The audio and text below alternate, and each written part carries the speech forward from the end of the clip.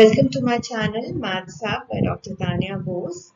So in my last video I told about the definition of graphs and today I'll tell you about the types of graphs, right? So to start with, let's talk about the directed graph. Now as the name suggests, directed graph is a graph in which all the edges have some direction, right?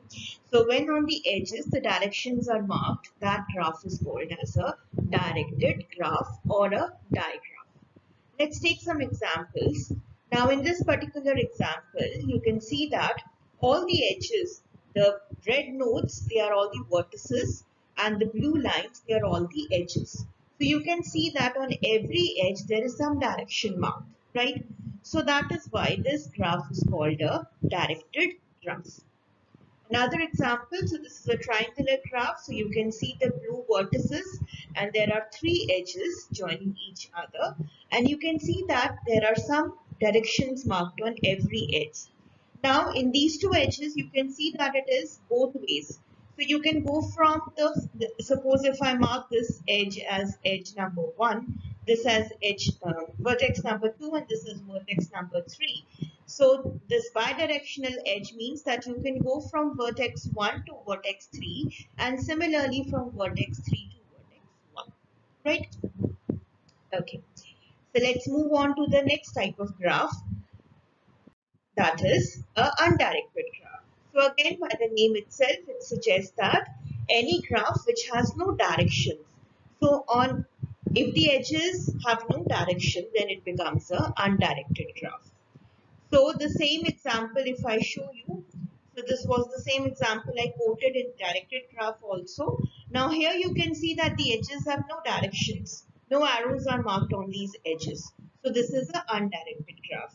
So what does it mean? That you can move from vertex to this vertex or you can move. So when you are naming this, suppose this is vertex A and this is vertex B, you can name it either AB or BA. But if some direction is marked over here, then we have to name it as BA, not A, right? Similarly, here you can see there are five vertices and no directions are marked on the edges. So this is also an example of a directed graph, right? Okay. Let's move on to the next graph. The next graph is a mixed graph. So mixed graph means when on some edges there are directions and on some edges there are no directions, right? So it's a mix and match of both the things. So here you can see that in this very example, some of the edges they don't have any direction while some of the edges they have some direction. So this is an example of a mixed graph. Likewise, you can see this example. Here you can see some of the edges. There are some numbers marked on these edges. These are the weights assigned. So towards the end of this chapter, we will let you know what is this, what are these weights used for. And otherwise, you can see that some of the edges have no direction while some of the edges have some direction. So this what this type of graph is called a mixed graph. Let's move to the next one, self loop. So self loop means when a edge joins the same vertex to itself, right? So let's see this. In this case, you can see that vertex 2 gets joined with vertex 2 through this loop. So it is connecting the same vertex to the same vertex. So this is an example of a self loop. Similarly, here you can see that all the vertices V1, V2, V3 all are connecting themselves. So V1 is connecting itself, V2 is connecting itself, V3 is connecting itself, right? Now one interesting fact in this that whether you mark the direction or you do not mark the direction, it doesn't matter. There is no significance of those arrows. Why? Because suppose I have this vertex V1 and if I make a loop, this is a undirected loop and if I make this loop and I give it a direction, will it mean the same thing? This also means it is connecting V1 to V1. This is also meaning that it is connecting V1 to V1. So that means the self loop, the direction in the self loop has so no significance because we can take it as directed or an undirected edge. Right? Okay. So now let's move on to the next one that is parallel on multiple edges. Now what are parallel on multiple edges? When two or more edges they connect the same two vertices then those edges are called multiple edges or parallel edges. So here you can see that we have two vertices and these two vertices are being connected with the help of two edges, right?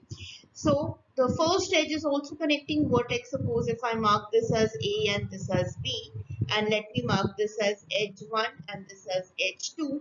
So you can see that edge 1 is also connecting vertex A to vertex B and edge 2 is also connecting vertex A to vertex B. Likewise, here you can see that we have multiple edges, right? So there are these two vertices A and C. The multiple edges are E1 and E2. Then you can see the vertices B and D. Again, the multiple edges are E5 and E6, right? So when two or more edges are connecting the same two vertices, they are called as multiple edges or parallel edges. Next is a initiating and terminating vertex. Now what is initiating and terminating vertex or you can call it as a terminal vertex. Now suppose if we have a directed edge joining vertex A to vertex B and you can see the direction. It is joining A to B not B to A, right? So from wherever the edge is initiating, the edge is initiating from vertex A. So that means the vertex A will be called the initiating or the originating vertex. Then A is called the initial vertex or the initiating vertex. Similarly, wherever that edge is connecting to, so B, B becomes the terminating or the ending vertex, right?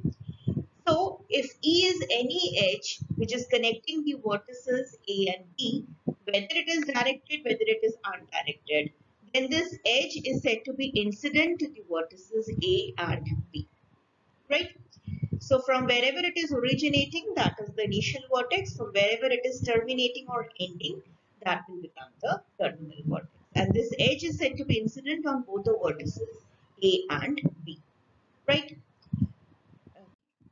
Next is a simple graph. Now any graph which is not containing any loops and parallel edges, then that graph is said to be a simple graph. Now for example, this is a graph. You can see that there are no loops. None of the edges are connecting itself. None of the vertices are connecting itself.